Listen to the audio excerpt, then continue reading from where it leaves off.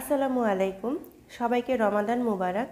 আজকে খুবই মজার একটি ইলিশ মাছের রেসিপি আপনাদের সাথে শেয়ার করব। আশা করছি ভালো লাগবে। তো কথা না বাড়িয়ে চলুন শুরু করা যাক। ইলিশ মাছ রান্না করার জন্য আমি এখানে কয়েক পিস ইলিশ মাছ নিয়ে নিয়েছি। এগুলোকে খুব ভালো মতো ধুয়ে পানি ঝরিয়ে নিয়েছি। এবার চলে যাচ্ছি মূল রান্নায়। রান্নার জন্য চুলায় একটি প্যানে ওয়ান ফোর্থ কাপ পরিমাণ রান্নার তেল দিয়ে দিচ্ছি। তেলটা গরম হয়ে যাওয়ার পর এখানে দিয়ে দিচ্ছি আধা কাপ পরিমাণ পেঁয়াজ কুচি। দিয়ে দিচ্ছি আধা চা চামচ পরিমাণ কালো জিরা, এটা অপশনাল না দিলেও চলবে। এবার পেঁয়াজটাকে বাদামি করে ভেজে নিতে হবে। পেঁয়াজটা ভাজা হয়ে গেলে এখানে দিয়ে দিব এক চা চামচ পরিমাণ হলুদের গুঁড়ো। আধা টেবিল চামচ পরিমাণ লাল মরিচের গুঁড়ো দিয়ে দিচ্ছি, মরিচটা স্বাদ মতো দিয়ে দেবেন। আধা চা চামচ দিয়ে দিচ্ছি জিরার গুঁড়ো, স্বাদ মতো লবণ দিয়ে দিচ্ছি। আধা টেবিল চামচ দিয়ে দিচ্ছি আদা এবং রসুন বাটা।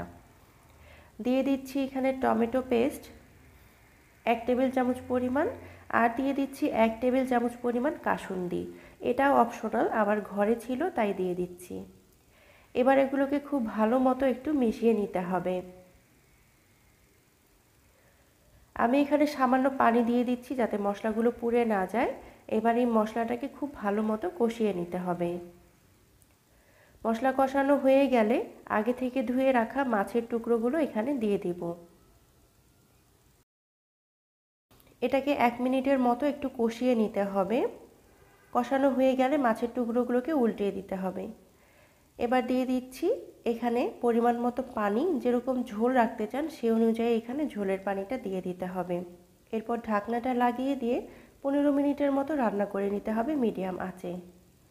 পনেরো মিনিট হয়ে গেলে ঢাকনাটা উঠিয়ে নিতে হবে। তো আমার মাছটা কিন্তু রান্না হয়ে গেছে। আমি এরকমই ঝোল অবস্থায় নামিয়ে নিব। আমি উপর দিয়ে সামান্য ঢেলে নেওয়া জিরার গুঁড়ো দিয়ে দিয়েছি। এবার ঢাকনাটা লাগিয়ে দিয়ে রেখে দিব এবং নামিয়ে পরিবেশন করব। আশা করছি রেসিপিটি ভালো লেগেছে, ভালো লাগলে সাবস্ক্রাইব করে পাশেই থাকবেন। আজকে এখানেই বিদায় নিচ্ছি। আল্লাহ হাফেজ। আসসালামু আলাইকুম।